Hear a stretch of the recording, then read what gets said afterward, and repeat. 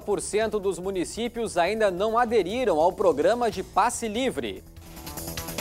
Metroplan lança sistema digital para facilitar o acesso ao cadastro. Bombeiros ainda combateram focos de incêndio em prédios da Zona Norte hoje pela manhã. Gabinete Digital do Governo do Estado debate Copa do Mundo.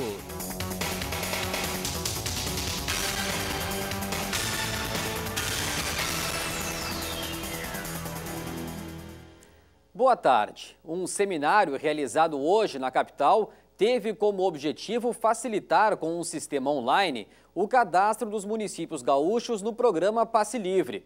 O prazo de adesão para garantir um transporte mais acessível para os estudantes foi estendido até o dia 7 de março. Representantes de municípios de diferentes regiões do estado vieram para a capital tirar dúvidas sobre a adesão ao benefício. Eles também tiveram acesso ao novo sistema operacional, que pretende facilitar o cadastro das prefeituras. Aproximadamente 60% das cidades gaúchas ainda não fazem parte do programa. No interior do estado, os alunos têm muita dificuldade no seu deslocamento até o local de estudo. E esse programa vem justamente para suprir essa lacuna.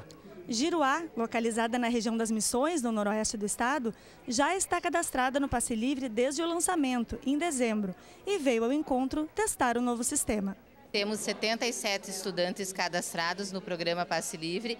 Temos agora até o dia 7 de março para enviarmos as novas fichas feitas durante este uh, período e acreditamos que de forma online ficará bem mais fácil e de maior controle por parte da Prefeitura. Tem duas situações. A primeira, a Grande Porto Alegre e os aglomerados, Osório, Caxias e Pelotas, que são uh, os ônibus concessionários. Esses aí é normal, está tranquilo, né, não tem problema nenhum. É, neste caso aqui, eles fazem uma contratação é, terceirizada de um ônibus para levar os alunos. Tá? Então, nós estamos orientando a, a, fazer essas inscrições e o controle delas, porque isso aí depois o tribunal vem é, fiscalizar. Né?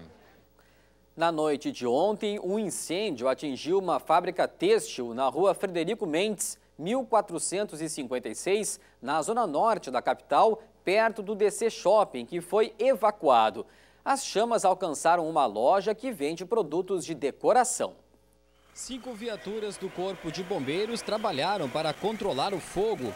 Ele parecia contido, mas voltou em focos no fundo do prédio. Como uma empresa de ônibus está situada perto da indústria, havia riscos das chamas chegarem a um dos quatro tanques que armazenam combustível no local. As chuvas ajudaram a reduzir a intensidade delas e alguns civis auxiliaram os especialistas do combate a incêndios. No entanto, hoje pela manhã, focos ainda precisavam ser develados. Ninguém se feriu. Peritos vão apurar a causa do fato.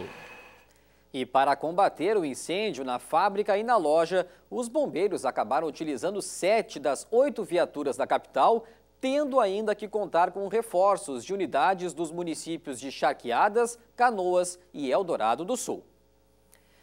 A ampliação do Hospital de Clínicas de Porto Alegre depende da aprovação de uma lei na Câmara de Vereadores. O projeto deverá ser votado em regime de urgência nos próximos dias a Prefeitura avaliou o projeto e pediu adequações para preservar a fachada do prédio.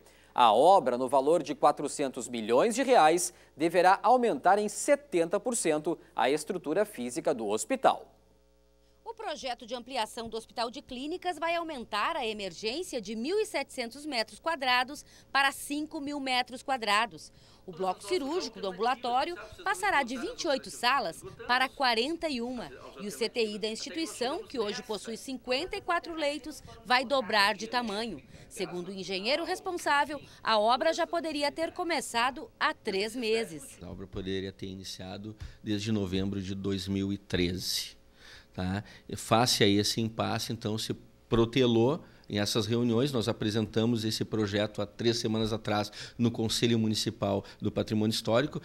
Haja visto que o EPAC encaminhou ao Conselho para deliberar, nós fizemos a apresentação do projeto e, a partir daí, então, houve que o projeto, da forma como está, interferiria então na paisagem urbana e do patrimônio histórico com relação ao prédio principal do hospital. Conforme a coordenadora do licenciamento e regularização fundiária de Porto Alegre, se o projeto for executado como está, duas leis municipais serão descumpridas. O impasse ele decorreu da questão da preservação daquele hospital antigo que nós temos lá, que é um exemplar do modernismo, e o segundo impasse é com relação ao número de vagas uh, de estacionamento que o empreendimento cria, que são inferiores àquelas previstas no plano diretor. Qual foi a solução que a prefeitura achou a mais adequada? Enviar um projeto de lei à Câmara de Vereadores em que há uma autorização para a construção deste bem, descumprindo essas duas leis, mas através de uma terceira lei que lhe dá, então, segurança jurídica para que não sofra uma ação judicial de uma ONG, do Ministério Público,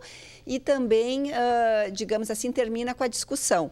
O presidente da Comissão de Saúde e Meio Ambiente da Câmara Municipal de Porto Alegre disse que, após conhecer o projeto, os seis integrantes da comissão foram unânimes quanto à necessidade de priorizar a tramitação do processo. Os próximos passos são a priorização desse projeto em reunião de mesa e liderança, uh, para que se possa deliberá-lo uh, em reunião conjunta das comissões e, a partir daí, ele ser reportado, no segundo momento, à ordem do dia para ser votado. Nossa esperança é que em duas, no máximo três semanas, a Câmara possa mais uma vez cumprir a sua, o seu papel.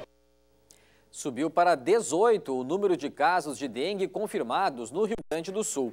As cidades registradas são Porto Alegre, Gravataí, Estância Velha, Erechim e Ubiretama.